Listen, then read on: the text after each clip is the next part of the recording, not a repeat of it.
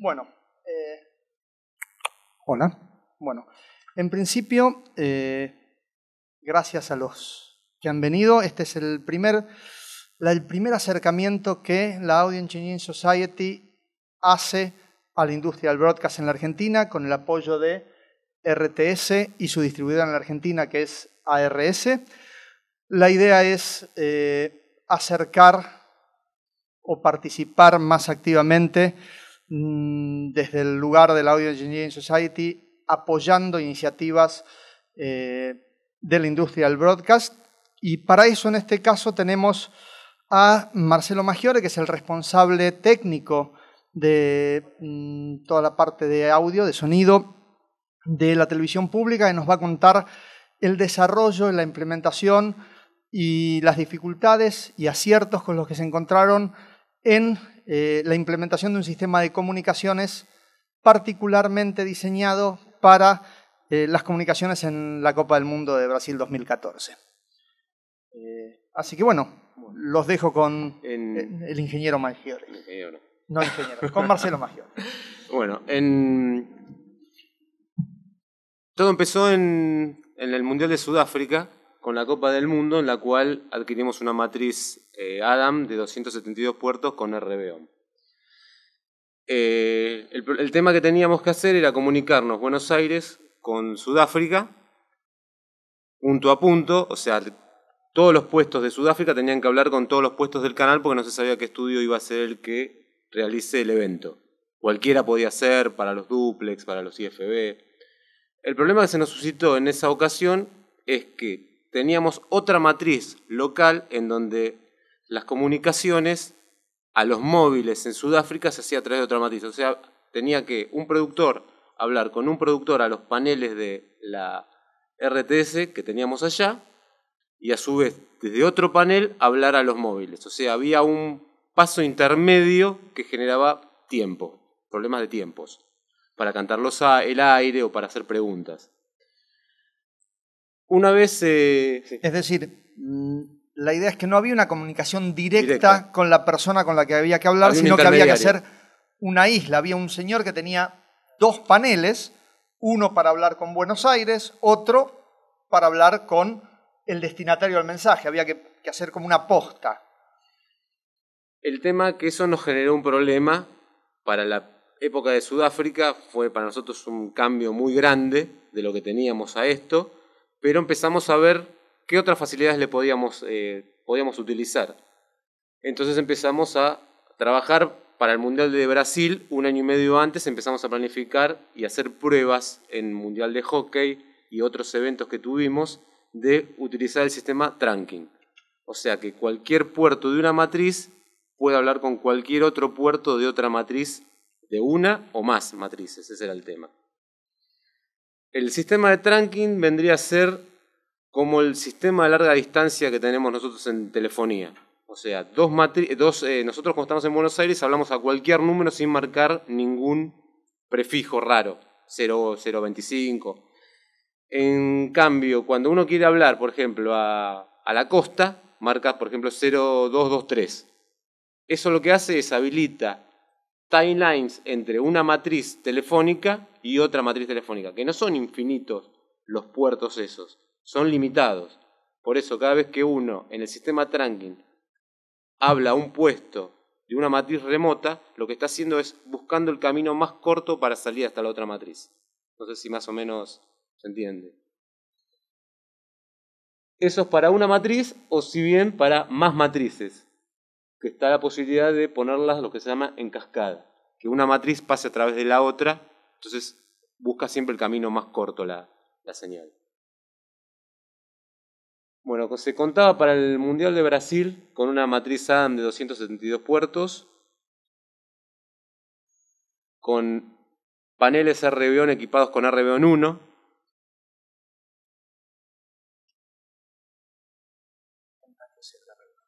La RBON1 es un puerto de interfase IP montado en un panel. Y después existen los puertos placas en las cuales son más puertos, pero dentro de una matriz.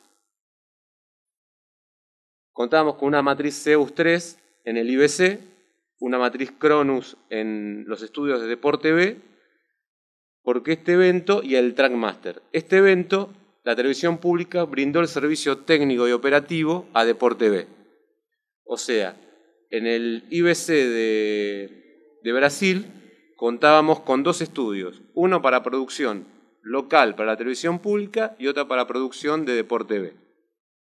También utilizamos en esta ocasión a prueba un sistema que se llama B-Link, que es para tener el puesto de intercom igual que un panel en un teléfono. Teléfono, computadora, laptop eh, o PC de mesa. Todo el sistema se, gestionaba y se, se controlaba a través de un programa que se llama Trunk Supervisor, en donde dice qué puerto habla con qué puerto, si está ocupada la línea esa de, transmisión, si hay algún problema en algún panel.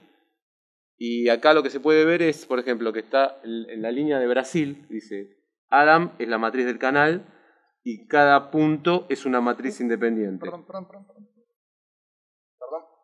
Es una matriz independiente, en donde figura en la matriz de Brasil que hay cinco puertos libres para comunicaciones.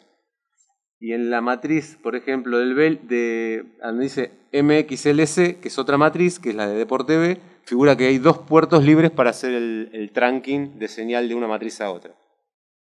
Las otras que están en punteados son los móviles nuestros que nos estaban usando para, los móviles locales que nos estaban usando. Bueno, en, en el IBC de Brasil contábamos con cuatro híbridos telefónicos para cuatro móviles de exteriores que había en, las sedes.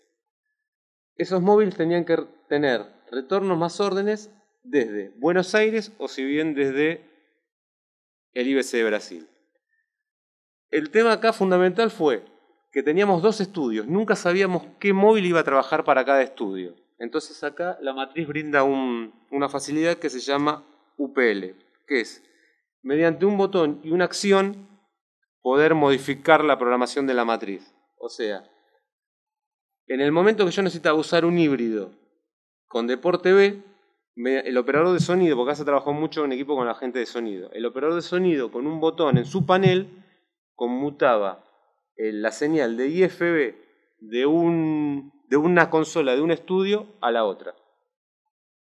Entonces no había que hacer ni patch, nada, era todo automático, todo mediante acciones de programación de matriz siempre estaba cableado todas las fuentes de audio a la matriz. Eso lo que permite es, en una operación que no se sabe qué móvil va a ser asignado a qué estudio, sin necesidad de reconfigurar nada, en el momento del, aire mismo, cambiar qué monitoreos, qué retornos recibe ese móvil eh, sin ningún tipo de demora. Entonces, la asignación de las fuentes y los destinos se vuelve dinámica. Y, esos cambios también se podían hacer desde la matriz de acá. O sea, si en algún momento alguien no había ya para hacer ese cambio, remotamente, vía trunking se podía cambiar la asignación de IFB de las consolas que tenían allá. Todo, sí, sí, sí. Retorno, la escucha del listen del panel, todo. Bueno, ahí está, justo lo que estaba diciendo para modificar la los retornos se hacía dinámicamente mediante la UPL. Esto es como estaba configurado. La televisión pública teníamos VPN contra los estudios de emisión de Deport TV y el control master de Deport TV. Eso iba por la red de internet. Acá se trabajó también mucho en equipo con la gente de sistemas del canal.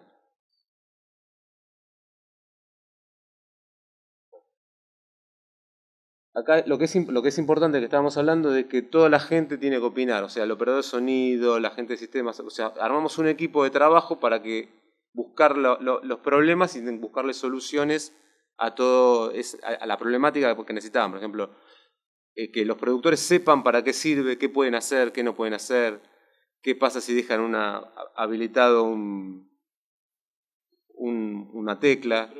Claro, pues en el trunking, si vos dejas habilitada una tecla, se te anula el puerto ese. Entonces teníamos que explicarle que no podían trabajar con manos libres. sí, sí. Otra cosa importante es, como el productor que estaba, digamos, el productor general, el, que estaba en la planta, en Canal 7 en este caso, quería a veces dar órdenes directas al periodista que estaba en un móvil, pero esa comunicación se superponía con la comunicación del productor local en el móvil, tenía que haber cierto nivel, establecer cierto nivel de prioridades o de jerarquías, pero además cierto nivel de aviso para que el productor local sepa cuando el periodista, por ejemplo, estaba recibiendo órdenes desde Buenos Aires y no desde el móvil.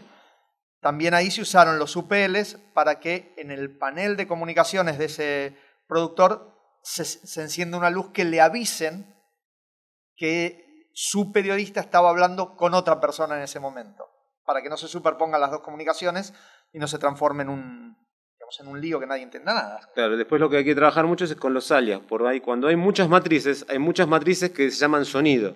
Entonces el sistema no sabe a quién hablarle. Entonces te da la opción, cada matriz, de que en su panel se vea con el nombre sonido, pero remotamente se vea con otro nombre. Por ejemplo, sonido Brasil era para nosotros. El tema también de la administración, lo que es importante es que esté todo concentrado en un solo punto. O sea, que haya una persona, un grupo de gente que administre y programe las matrices vía remota. Porque te da la posibilidad de programar las matrices, de hacer accesos directos y vos poder ver cada matriz de cada punto y hacer los cruces. Porque si lo haces de un lado hay que hacerlo del otro también. Entonces es, difícil coordinar con gente ese mismo trabajo. Ah, sí. Otro de los temas importantes que deja la matriz es en los AZ-Edit codificar colores, o sea, poner colores que uno quiera en determinados, eh, en determinados usos. Por ejemplo, nosotros teníamos, cada matriz le asignamos un color. Entonces, viendo la Z-Edit ya sabíamos qué matriz era. El amarillo era Brasil, el verde era los estudios de Deporte B, el violeta, por ejemplo, eran los B-Link, el verdecito oscuro era, éramos nosotros. Entonces, ya con verlo ya sabíamos quién estaba hablando con quién o a dónde había que asignarlo. Ahí está lo mismo con los IFB, que tiene puertos de escucha y IFB de, transmisión diferenciados. Sí.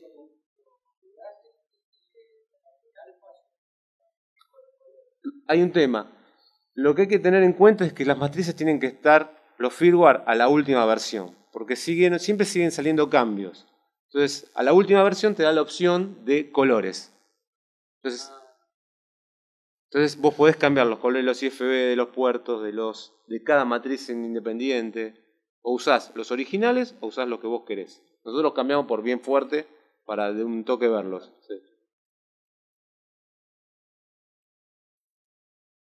sí.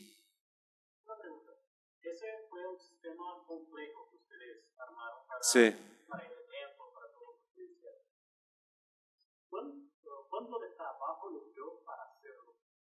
Y para empezar, cuatro años, porque empezamos con el 2010 con la instalación de la matriz. En el, 2010 hicimos el Mundial de Sudáfrica con media matriz cableada. ni siquiera teníamos el, total de la matriz cableada. Y después fue el tema de ir aprendiendo qué provecho se le podía sacar en base a la, que la gente nos, nos decía. O sea, queremos hacer esto, ¿Cómo se hace? Entonces empezamos a investigar y a hacer pruebas. Para hacer esto tuvimos que tener una matriz Zeus 3, que la sacamos de un móvil, que no se está usando, para poder empezar a hacer la parte de ingeniería de, los tracking, de las pruebas. Ahí con Juan estuvimos también muchas horas trabajando. Y no, y así, fue horas y horas haciendo pruebas y teniendo la vuelta de la gente. Por ejemplo, una cosa que están ahora que quieren en los estudios es en los puertos de, los talentos escuchar el micrófono limpio antes de la consola.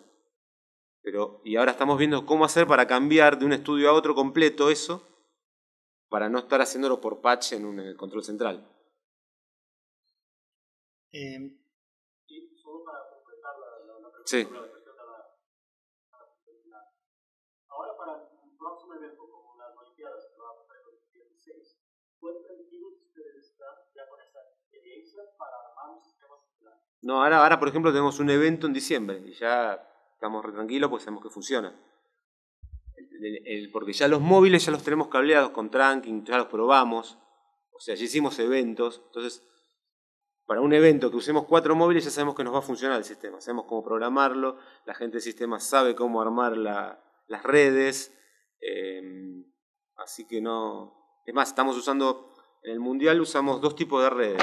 Una fuimos por fibra, que era IP punto a punto, que era como que estar en el canal, y la otra era vía internet directamente, armando VPNs por internet. Y las dos se unieron y todos hablaban con todos sin ningún tipo de problema, ni latencia, ni, ruido, ni nada raro. O sea, se escuchaban los audios totalmente normales.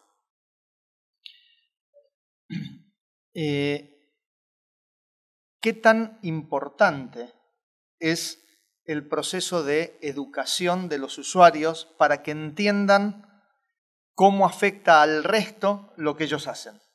Claro, es, es, es complejo porque explicarle a mucha gente, más a los productores, qué es lo que se puede hacer, qué es lo que no se puede hacer localmente o tracking. Y el tema de, por ejemplo, nosotros nos encontramos con un problema que eran los party line, que es como que son reacios a que los estén escuchando todo el tiempo, trabajar con manos libres, por ejemplo. Todavía ese, tema no lo, no lo logramos implementar y en el sistema tracking nos hubiera solucionado muchos problemas porque había puestos que estaban siempre hablando al mismo lado. Entonces nos hubieran, nos hubieran quedado más timeline libres para solucionar otros problemas. Pero así como lo hicimos, con, la verdad que no, no tuvimos nunca un problema. Yo hay un gráfico que lo, lo, perdí con una máquina mía que se me arruinó, que marcaba que el Trank supervisor, que al final del Mundial hubo 80.000 cruces de comunicaciones entre todas las matrices. Así que esa justo la quería tener y la perdí esa, esa imagen. Creo que algo, algo importante y destacable de ustedes es tener el soporte de la parte informática del canal. Ah, sí, sí, sí, sí, sí, sí. No, si no se hace en equipo no se puede trabajar. O sea, es, es el equipo de, de, la gente de sonido que es la que más interesada está con el sistema, que es la que a la donde va, le van a pedir más recursos y donde más se le soluciona el problema, por ejemplo, para, para los móviles los móviles teníamos asignado autodials, o sea, de un toque él llamaba números que ya tenían asignados en Brasil. Entonces no tenía que estar marcando números, no, directamente desde el panel marcaba Copacabana, en el, alfa decía Copacabana, llamaba, se le atendía solo el híbrido del móvil y ya le figuraba en su alfa parpadeando la señal que estaba comunicado con Copacabana. El productor lo único que hacía, hablaba y se cortaba la llamada, radial de vuelta. O sea, no, un botón era. Así que a la gente de sonido, se, la parte operativa, se le solucionó muchísimos problemas con esto. Ahora, las opciones son múltiples. Mm. ¿sí? ¿Cuántas de esas múltiples opciones surgieron no por un análisis técnico, sino porque un usuario decía, yo quisiera comunicarme de esta manera? Un montón, todas. ¿Y, y cuánto, todas. cuánto trabajo sí. mmm, implicó resolverlo? Es decir, ¿fue amigable resolverlo? No, sí, sí, fue, fue fácil. Algunas cosas todavía estamos aprendiendo. Algunas se las he preguntado acá al ingeniero de RTS cómo poder solucionarlas. Como marcar remotamente un híbrido, un TIF 2000 en otra matriz para que la comunicación sea no de larga distancia, sino sea local en el lugar donde está el, el TIF. Es decir, mm, para aclararlo, si estamos en Buenos Aires y tenemos en una matriz remota en la India un híbrido telefónico y queremos llamar un número de la India, usar esa línea telefónica y no marcar desde acá. Claro, porque muchos... muchos... O mejor dicho, marcando desde acá, usar el teléfono que está allá para que el costo sea local. Porque muchos problemas que se nos plantearon era, por ejemplo, con, las, con noticias. Que los programas de noticias a las 6 de la mañana ya están en el aire acá. Pero la gente allá no podía estar de las 6 de la mañana hasta las 12 de la noche todos los días. Entonces allá estaba todo prendido y mediante UPL y remotamente se, se hacían muchas cosas desde acá. Hablarle a los móviles, pero el problema era marcar el número. Entonces, ese es el tema donde ahora estamos tratando de modificar algunas cosas para que no haya que tener un TIF conectado directamente a la Reveon, sino a otra matriz. Sí. Nosotros en, en, audio en Canal 7 somos tres... No. En, Canal 7 somos tres personas en la parte de audio, que estuvimos a cargo de toda esta planificación, juntamente con otro grupo que es la gente de sistema. La parte de administración, donde nos pedían los cruz y todo eso, la estábamos manejando nosotros. Porque al principio intentamos que cada uno administre su matriz, pero se nos empezaron a plantear que los IFB escuchaban una cosa, sí, sí, sí.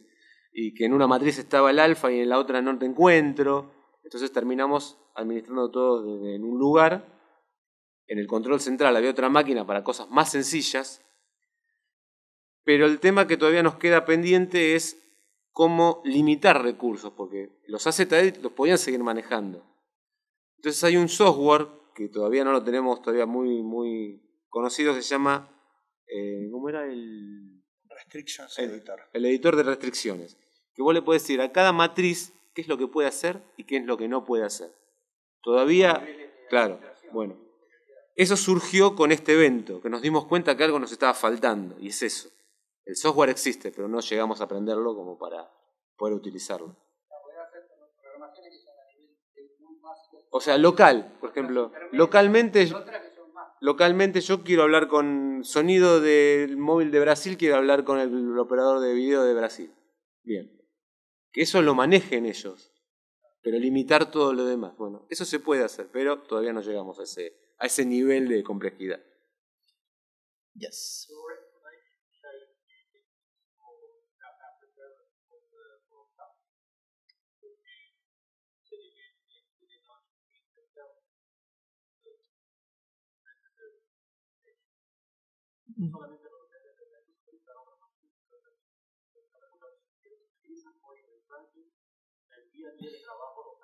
No, no por el armado del tema de las redes, porque los, las unidades móvil cuando van a un lugar no se define con un mes de anticipación como para pedir una línea dedicada de internet y armar la VPN.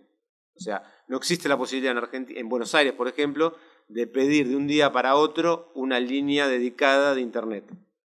No es como una línea telefónica todavía acá eso. Para grandes centros sí. Claro, ahora por ejemplo... Pero el en- problema es de infraestructura. De, de infraestructura a nivel país, de infraestructura de comunicaciones. Las telefónicas no te brindan ese producto para poder pedirlo en el lugar tal día. Sí, para un evento que va a durar 20 días, por ejemplo, ahora en diciembre hay una cumbre presidencial donde posiblemente tengamos cuatro móviles en tranqui. Eso sí.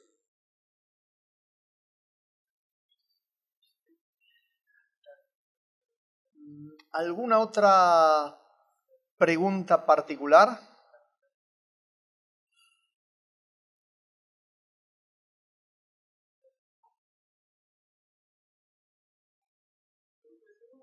Sí, claro que sí. Solamente sobre la experiencia sobre el uso del. Sí. Ah, eso no, no, no has contado. Ustedes dijeron anteriormente que utilizaron dispositivos móviles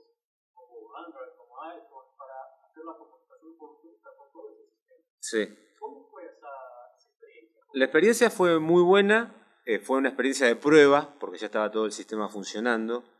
Eh, nosotros hicimos varios, eh, teníamos varios protocolos de emergencia. Si en algún punto la matriz se quedaba sin comunicación de IP, por la fibra óptica, nosotros teníamos armados party line con UPLs para que se activen automáticamente cuando alguien le hable.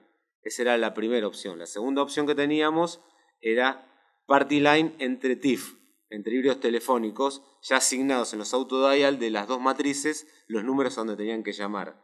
Y la tercera opción era el B-Link en computadoras de mesa, tanto en el IBC como en Deporte B, como en el canal. Hasta en mi casa. Tenía una que yo me comunicaba a la noche a los puestos para ver cómo estaba andando todo. Eh, para que se den una idea, el B-Link es, un- el concepto es la misma matriz física en el dominio virtual. Es decir, llevar los paneles de comunicaciones a tu teléfono, pero que el funcionamiento sea el de una matriz de comunicaciones, que no haya que marcar un número, que haya un botón, eh, vamos a ir de nuevo al, al gráfico, un segundito, Es como tener un KP32 en un teléfono. Las mismas funciones, las mismas, Acá todo está. igual se puede hacer. Acá estamos. Esto que tenemos ahí arriba son los botones a los que queremos hablar. Entonces yo quiero hablar con un camarógrafo. Pero no lo llamo por teléfono al camarógrafo. Le hablo al headset de la cámara directamente desde un dispositivo móvil. Entonces, esta matriz virtual que reside en una computadora se enlaza por audio y por datos con el sistema de trunking para tener acceso a los canales de comunicaciones normales de la matriz física. Y eso funcionó no solo, funciona no solo a nivel local, sino que además dio resultado a nivel incluso internacional usando redes 3G estándar.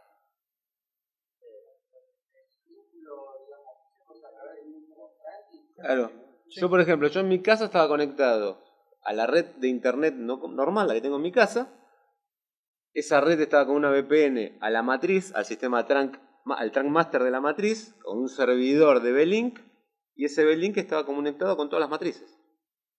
O sea, yo desde mi casa, por ejemplo, hablaba con un teléfono que tenía un productor en Copacabana, con un sistema B-Link, y funcionó. El tema era la infraestructura telefónica en el caso del 4G Brasil.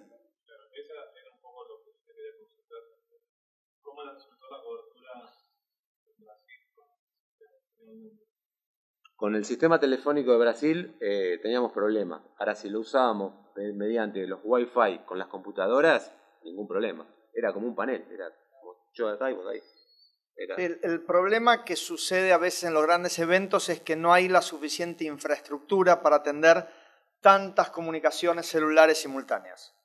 Es decir, piensen un partido de fútbol, hay un millón, de, 100.000 o 60.000 tipos sacando fotos y mandando WhatsApp del partido. Eso colapsa cualquier red.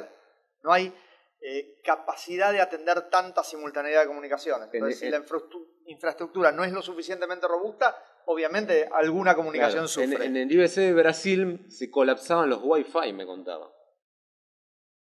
Así que, sí, sí, sí, sí, sí. Entonces, no hay ningún sistema que sea infinito. Pero el, el, sistema es maravilloso y puede hacer lo mismo que en un panel, lo mismo. Pero en, las pruebas antes del Mundial, eso sí lo hicimos con un ingeniero que estaba en Brasil, eh, accedía a mi teléfono o al teléfono de Marcelo, que tenían un, un panel virtual por 3G, y hablábamos de una manera increíble, ida y vuelta, eh, cruzábamos retornos más órdenes, que yo. Claro, no había 100.000 comunicaciones simultáneas en, ese, en esa antena de celular. Faltaban unos días para que empiece el mundial. Eh, pero en condiciones promedio funciona maravillosamente en el día a día funciona maravillosamente. Ahora, el tema del sistema en trunking y, de varias matrices, como tenemos nosotros cuatro matrices, el tema es que no hay vuelta atrás. Porque a la primer falla no, se olvidaron cómo funcionaban hace una semana atrás la gente. Entonces un día solo se nos cortó por cinco minutos la red y parecía que se había terminado el planeta. Sí, sí, sí, sí, sí, sí. O sea, se olvidan enseguida de cómo se trabajaba. O sea, cuando le das tantas facilidades, ya no hay vuelta atrás.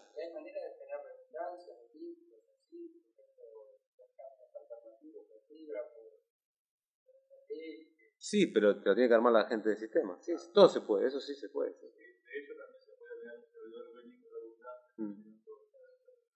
El, tra el Trunk Master tenés la posibilidad de tener redundancia de, de redes también.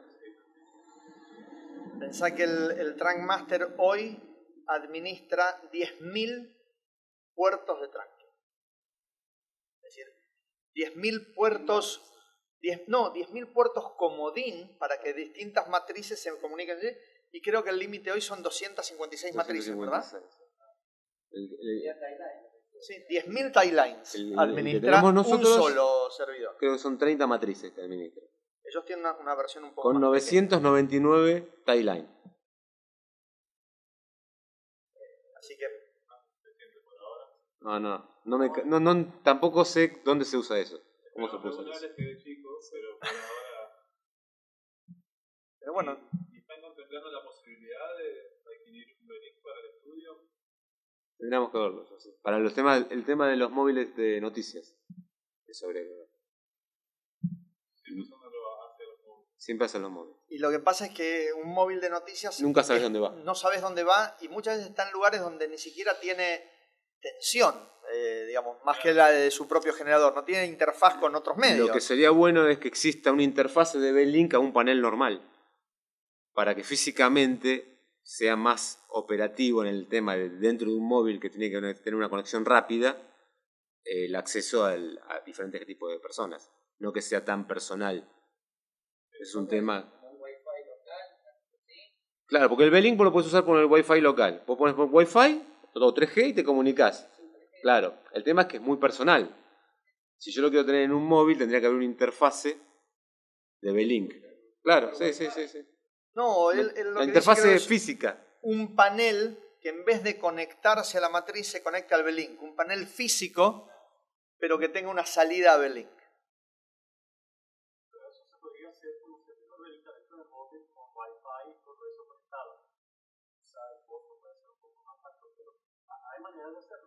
Claro, pero el móvil de noticias necesita una sola comunicación, o sea, hablar con el estudio. El estudio, los productores.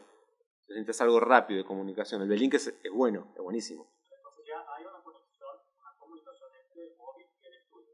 Tendría que haber, sí. La forma más fácil es el 3G, el sistema 3G o 4G. Claro. Claro. Pero, pero sí, creo que en- entender que la idea es que haya alguna clase de panel falso, digamos, Como si fuese el RBON 1, pero de B-Link, algo parecido. Para conectar un key panel a, eh, Al sistema B-Link. al 3G. Un, un key panel con modem 3G sería, con, con SIM card. Un key panel con SIM card. Yo he visto una solución como esta en Brasil, donde ellos tenían un modem de Tetle, donde se ponían el 3G, puedes poner hasta cuatro modems USB de 3G de diferentes operadoras. Ellos hacían el bind, juntaban todas las bandas de todas las operadoras y eso lo conectaba nomás, agarraba un café 32, lo conectaba a eso y listo, ya estaba conectado con la central. Era, era eso nomás, era un panel con ese Un panel con RB RBON 1. Un KP32 con RBON 1. Sí, con R- con remoto. Eso era, un panel remoto que lo llevas para donde quieras y hay una conexión de ese Tetris con la central, con una VPN. Claro, pues, pero, pero combinaba cuatro modem de 3G Es para la que usan las cámaras, las de combo de noticias nuevas que hay, sí. Sí. sí.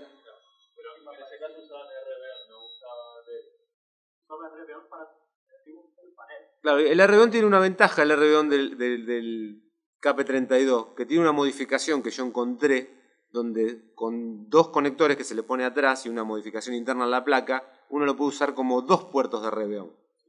Uno para la data con el panel normal y otro para salir, por ejemplo, con un IFB.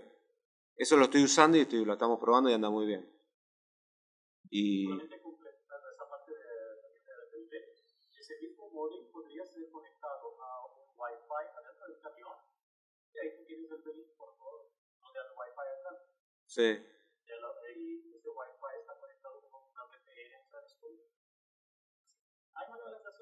Claro, estaría, estaría bueno tener una, un gráfico o información sobre esos eventos. Porque muchas veces acá eh, lo que nos pasa es que vemos grandes eventos que se hacen afuera y no sabemos cómo lo hacen. Claro, la implementación, ni- lo que yo decía antes, todos los paneles vienen con GPI, la matriz. ¿Para qué usan tanto GPI? Decíamos. O sea, son cosas que no sabemos por qué las usan. Por ejemplo, el otro día encontramos el gráfico del Super Bowl, donde usan cinco móviles. Bueno, eso estaría muy lindo ver el diagrama de ingeniería de eso.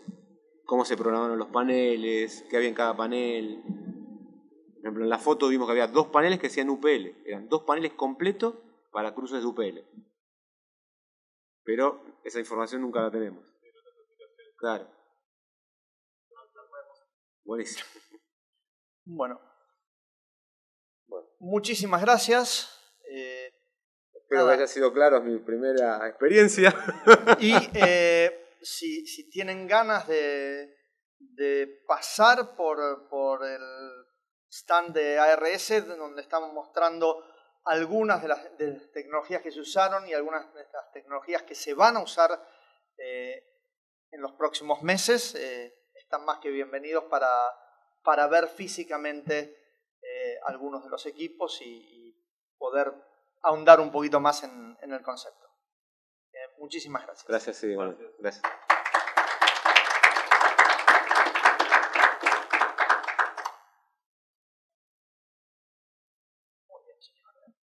¿Pasamos la duda? Pero muy bien. Muy bien. Ha hecho un gran trabajo.